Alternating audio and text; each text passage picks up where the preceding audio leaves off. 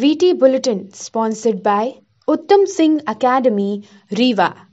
नमस्कार विंध्या टाइम्स में आपका स्वागत है और आपके साथ मैं श्रेया हाजिर हैं। आज की बुलेटिन की खबरों के साथ पहली खबर की बात करते हैं। कोरोना वायरस का नया रूप, ओमिक्रॉन वेरिएंट के दस्तक के बाद खतरा बढ़ गया है। हर दिन इसको लेकर चेतावनी मिल रही है और इस बीच मध्य प्रदेश में भी केसेस बढ़ते जा रहे हैं। मध्य प्रदेश में इन दिनों कॉलेजों में होने वाली परीक्षाएँ भी चर्चा का विषय बनी हुई है। छात्रों में एक तरफ़ जहाँ असमंजस था कि परीक्षा ऑफलाइन होगी या ऑनलाइन, इस बीच विश्वविद्यालय ने ऑफलाइन बोर्ड में परीक्षा कराए जाने के निर्देश दे दिए हैं।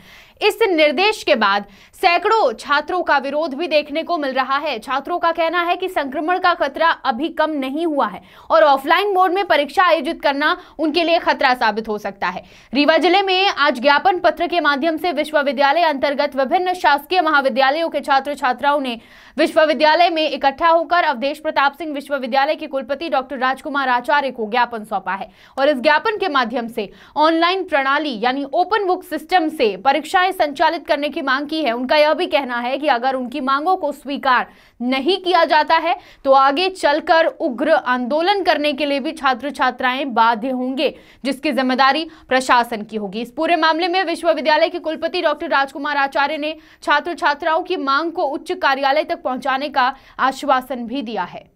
रीवा में तीसरे दिन भी जूनियर डॉक्टरों की हड़ताल जारी रही। पिछले दो दिनों से जूडा अपनी मांगों को लेकर विरोध कर रहे हैं और अब तीसरे दिन भी हड़ताल जारी है। रीवा में आज जूडा ने वृक्षारोपण करके सरकार को नवजीवन का संदेश दिया। डॉक्टरों की भर्ती, नीट काउंसलिंग 2021 ऐसी तमाम मांगों को लेकर जूडा हड़ताल पर है। पहले भी जूनियर डॉक्टरों की हड़ताल प्रदेश में हो चुकी है, जिससे अस्पताल व्यवस्था पर काफ़ी असर पड़ा और इस बार भी अस्पताल व्यवस्था चरमरासी गई है। जूडा डॉक्टरों की हड़ताल का मरीजों पर असर पड़ रहा है। इलाज के लिए मरीज़ भटक रहे हैं। जूनियर डॉक्टर्स का यह कहना है कि पहले भी हड़ताल के माध्यम से सरकार को अवगत कराया गया था लेकिन सरकार द्वारा कोई ठोस कदम नहीं उठाया गया। अब फिर से हड़ताल के माध्यम से विरोध जताया जा रहा है और अपनी मांगों को लेकर जूडा लगातार अड़े हुए हैं। हाँ बोलिए। आज ये पौधारोपण किया जा रहा है। क्या उद्देश्य क्या पौधारोपण जैसे कि हमारी ये स्ट्राइक चल रही है कंटिन्यू थर्ड डे आज। हमने सरकार से मांगे रखी थी कि हमको नए डॉक्टर्स चाहिए। तो उसी के सिलसिले में जारी रखने के लिए हमने आज वृक्षारोपण का आ, काम रखा है जैसे कि नवजीवन को जगाता है। और इसके आगे का आपको ये बताएँगी। पिछले पाँच दिनों में जो कोरोना है कोरोना के केसेस हैं वो लगातार बढ़ते जा रहे हैं और डबल हो चुके हैं। तो आगे आने की स्थिति कितनी भयावह है इसका कोई अनुमान नहीं लगा सकता। वृक्ष एक तरीके से संकेत होता है नई उम्मीद का।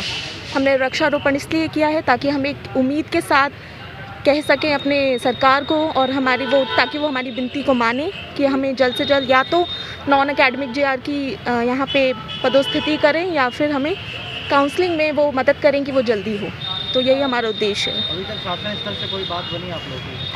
अभी जैसे बात चल रही है शासन स्तर पर भी तो आगे बात थोड़ी बड़ी है। हमें उम्मीद है कि आज तक शाम तक थोड़ा कुछ संदेश आएगा कि इस मामले में कुछ बात हो और बात आगे बढ़े।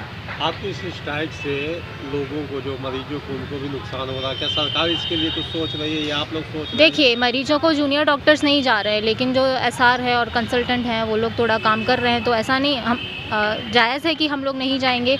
तो उस कारण से सरकार पे थोड़ा असर पड़ेगा। हम ये चाहते कि हम भी नहीं बहुत दिनों तक इस चीज़ को कंटिन्यू करें तो जल्द से जल्द हमारी जो भी जायज़ मांगे हैं जो कि पूरी हो सकती है ऐसा कुछ भी नहीं है कि नहीं है तो उसका पूरा किया जाए और ताकि ये हम अस्पताल की व्यवस्थाओं को अभी तक जूटा डॉक्टर ही संभालते आए हैं ये किसी छिपा नहीं है। हाँ। जब आप लोगों के अलग हो जाने के बाद क्या स्थिति होगी ये इससे आप लोग क्या सरकार जानती है इस बात सरकार इस बात से अवगत है कि स्ट्राइक चल रही है तो इसीलिए और प्रयास भी कर रही है कि चीज़ें आगे पूरी हों। कोशिश जारी है। तो हमारा भी यही विनती है कि जल्द से जल्द सरकार इस चीज़ को और गंभीरता से ले ताकि ये हमें और ज़्यादा दिन कंटिन्यू ना रखना पड़े। आज रीवा के कॉफ़ी हाउस में मऊगंज से पूर्व विधायक लक्ष्मण तिवारी ने प्रेस वार्ता का आयोजन किया। इस प्रेस वार्ता में प्रदेश में होने वाले त्रिस्तरीय पंचायत चुनाव को लेकर चर्चा की गई। पत्रकारों से चर्चा करते हुए पूर्व विधायक ने कहा कि प्रदेश के मुखिया लोकतांत्रिक व संवैधानिक कार्यप्रणाली की अवहेलना कर रहे हैं। उन्होंने कहा कि प्रदेश में हो रहे पंचायती राज चुनाव में शिवराज सिंह चौहान की सरकार ने अरबों रुपए नामांकन फ़ीस से लेकर एनओसी की आड़ में सरकार द्वारा जमा कराया गया। अगर चुनाव प्रक्रिया में रोक लग गई व संवैधानिक कर दिया गया तो चुनावी तैयारी में तमाम उम्मीदवार का खर्च होने वाली राशि की ज़िम्मेदारी कौन लेगा? उन्होंने कहा कि वर्तमान स्थिति में ओबीसी वर्ग के आरक्षण पर सत्ता व विपक्ष राजनीति कर रही है। प्रदेश के मुखिया ने प्रदेश के मुखिया ने कहा था कि बगैर ओबीसी के चुनाव संपन्न नहीं होंगे। वहीं अब वह कोर्ट में जाने की बात कर रहे हैं। साथ ही विपक्ष भी कोर्ट में जाने की बात कर रहा है। इससे सबसे ज़्यादा असर उम्मीदवारों और आम जनता पर भी पड़ रहा है। आम जनता भी अब हर दिन बदलते फैसलों को लेकर परेशान है। ऐसे तमाम बातों से पूर्व विधायक लक्ष्मण तिवारी ने सरकार पर और विपक्ष पर कटाक्ष किए। अटल कुंज में पत्रकार वार्ता का आयोजन किया गया, जिसमें भारतीय जनता युवा मोर्चा के प्रदेश कोषाध्यक्ष एवं जिला अध्यक्ष उपस्थित रहे। इस पत्रकार वार्ता के माध्यम से अटल बिहारी वाजपेयी की जन्म जयंती, स्वामी विवेकानंद की जयंती को सुशासन दिवस और युवा दिवस के रूप में मनाने की बात कही गई।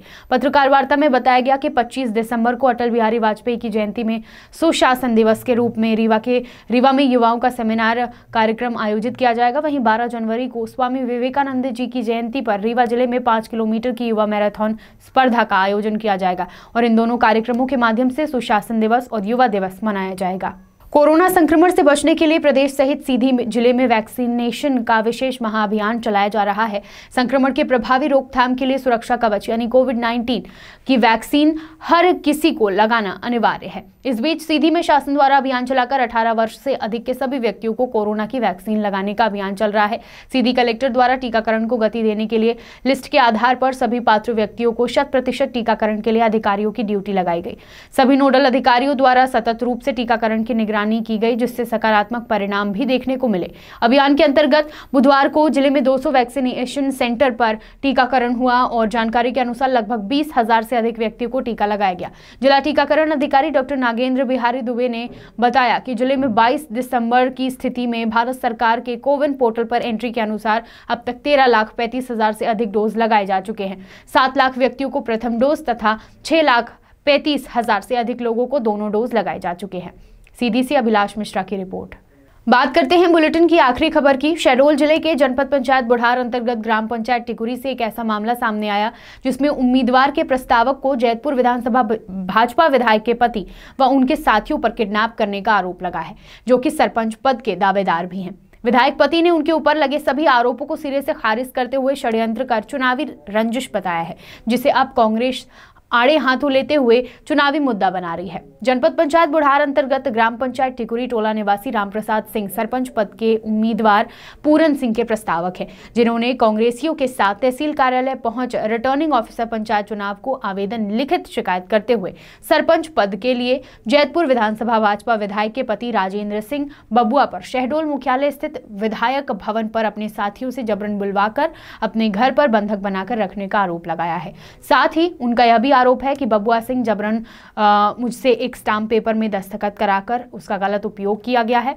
प्रस्तावक रामप्रसाद सिंह ने मांग की है कि इस कृत्य को करने वाले पर उचित कार्यवाही की जाए। वहीं इस पूरे मामले में विधायक पति सरपंच के उम्मीदवार राजेंद्र प्रसाद का कहना है कि मेरे ऊपर लगे गए सभी आरोप निराधार है। मेरी पत्नी विधायक है, इसलिए राजनीतिक द्वेष के चलते ही षड्यंत्र कर चुनावी रंजिश के चलते इस तरह का कृत्य किया जा रहा है। जबकि गाँव में आपसी सहमति से मुझे सरपंच पद के लिए निर्विरोध सरपंच पद के लिए चुनने का निर्णय लिया गया है और उनके ऊपर अनर्गल आरोप लगवा रहे हैं। इस मामले में बुढ़ार तहसीलदार मीनाक्षी बंजारे का कहना है कि निर्वाचन नियमों के अनुसार यदि समीक्षा में सभी फॉर्म निरस्त हो जाए और एक व्यक्ति निर्विरोध हो जाए तो ऐसी स्थिति में उस आदेश का एसडीएम साहब के पास पुनर् निरीक्षण होगा और उसके बाद जो परिणाम आएँगे उसके अनुसार कार्यवाही होगी। वहीं प्रस्तावक को किडनैपिंग करने के मामले में कुछ भी नहीं कह, अ, कुछ भी नहीं कहते हुए रहने शिकायत दर्ज कराई गई है और जाँच के बाद मामला स्पष्ट होने की बात कही गई है। शहडोल से पंकज राव की रिपोर्ट। हाँ बोलो। ज़रूरी जानकारी से घर में था खेत से घर गया था तो उसी समय पहुँचे कि तुमको बुलाया है सरपंच। हम्म, किसी काम से जल्दी से जाएँगे तुरंत आ जाएँगे। मैं कहा मेरे को नहीं है टाइम मैं नहीं जाऊँगा। कौन बोला इन फुलेल सिंह। हम्म, जो सरपंच था। हम्म, हम्म, सरपंच वो नहीं उनका वो विधायक पति। नहीं उसका सहयोगी। सहयोगी अच्छा। तो मैं बोला मैं नहीं जाऊँगा। हम्म, फिर वो चले गए। फिर इसके बाद फिर आया फिर बोला वो बहुत ज़रूरी काम से बुलाया सरपंच है है ना वो विधायक है तो उसका नहीं सुन सकते हो तो मैं ठीक है भाई सुन लेता हूँ। हम्म, गया तो हो गया अब ये दबाव होने लगा कि इसके तुम दस्खत किए हो ये है वो है गाँव से बढ़ के हो हम तो गाँव से बढ़ के नहीं हैं गाँव के हैं। तो इसको निरस्त करवाना है। फार्म जो इनसे सहयोगी हो सरपंच भरवाए हो हैं। तो मैं कहा कि भाई मैं तो किया हूँ दस्खत अब भरवाए हैं तो किया हूँ योगी हूँ हैं। तो ऐसे बोल के इसको निरस्त करवा देंगे तो वो एक रहेगा मुनिवास का। ऐसे बात फिर आप उठा के भी ले गए थे क्या कहीं? हाँ तो उठा के ले गए तभी तो वहाँ थे शहडोल में और घर से ले आए।